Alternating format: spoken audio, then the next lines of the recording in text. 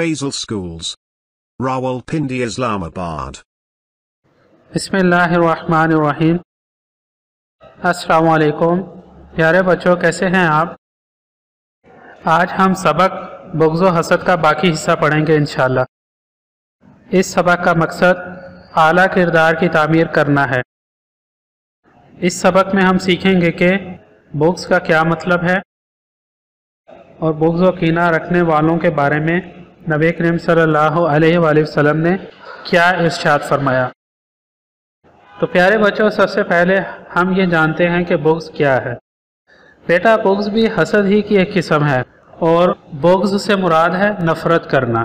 لیکن بغض اور حسد میں فرق یہ ہے کہ حسد میں حاسد دوسرے کی نعمت کی وجہ سے، جبکہ بغض رکھنے والا بغیر کسی وجہ کے دوسرے شخص سے نفرت کرتا ہے۔ لیکن پیارے بچوں بغیر کسی وجہ سے کسی سے نفرت کرنا اور اس سے دشمنی رکھنا یہ مسلمانوں کا طریقہ نہیں ہے۔ اس بارے میں نبی کریم صلی اللہ علیہ وآلہ وسلم نے ارشاد فرمایا ہے، جب کسی سے نفرت کرو تو صرف اللہ کے لیے کرو، کسی سے محبت کرو تو صرف اللہ کے لیے کرو۔ یعنی ہماری محبت بھی صرف اللہ کے لیے ہونی چاہیے اور ہماری نفرت بھی صرف اللہ کے لیے ہونی چاہیے۔ بغض رکھنے والوں کے بارے میں حضرت ابو حریرہ رضی اللہ تعالیٰ عنہ سے روایت ہے کہ نبی کریم صلی اللہ علیہ وآلہ وسلم نے ارشاد فرمایا، ہر ہفتے میں دو دن پیر اور جمعرات لوگوں کے اعمال پیش ہوتے ہیں، تو ہر مومن کی معافی کا فیصلہ کر دیا جاتا ہے، سوائے دو آدمیوں کے جو ایک دوسرے سے بغض و کینہ رکھتے ہوں۔ بس ان کے بارے میں حکم دیا جاتا ہے کہ ان کی معافی نہ لکھو۔ جب تک یہ آپس میں بغض اور دشمنی سے باز نہ آ جائیں اور دلوں کو صاف نہ کر لیں۔ بیٹا، یہ حدیث حدیث کی کتاب صحیح مسلم میں موجود ہے۔ بیٹا، جیسا کہ آپ سب لوگ جانتے ہیں کہ ہمارے دائیں اور بائیں کندھوں پر فرشتے موجود ہیں جو ہمارا ایک ایک عمل لکھ رہے ہیں۔ تو یہ ہمارا نامہ اعمال ہفتے کے دو دنوں میں پیر اور جمعرات کو پیش کیا جاتا ہے۔ تو ہر مومن یعنی ایمان والے کی معافی کا اعلان کر دیا جاتا ہے، سوائے دو آدمیوں کے۔ جو ایک دوسرے سے بغض اور کینہ رکھتے ہوں۔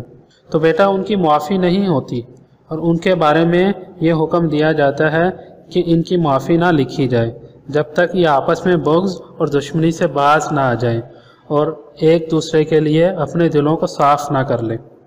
تو بیٹا، بغض یہ ہے کہ کسی سے بغیر کسی وجہ کے دشمنی رکھنا، اور حسد یہ ہے کہ کسی کو کوئی نعمت حاصل ہو اور کسی دوسرے انسان کے دل میں یہ بات آ جائے کہ یہ نعمت اس سے چھن جائے اور مجھے مل جائے، اس وجہ سے وہ اس سے دشمنی رکھتا ہو، تو یہ حسد ہے۔ بیٹا، چاہے بغض ہو، چاہے حسد ہو، یہ دونوں باتیں بہت بری ہیں، یہ دونوں جذبات بہت برے ہیں، اور ہمیں ان دونوں جذبات سے بچنا چاہیے۔ تو پیارے بچوں، اس لیے ہمیں چاہیے کہ ہم بغض، کینہ اور حسد سے بچیں، تاکہ ہمارا ایمان سلامت رہے، صحیح رہے، مکمل رہے، اور ہم اللہ کے پسندیدہ بندے بن جائیں۔ آمین۔ اس کے ساتھ ہی ہمارا آج کا سبق ختم ہوا۔ جزاکم اللہ احسن الجزا السلام علیکم ورحمۃ اللہ وبرکاتہ۔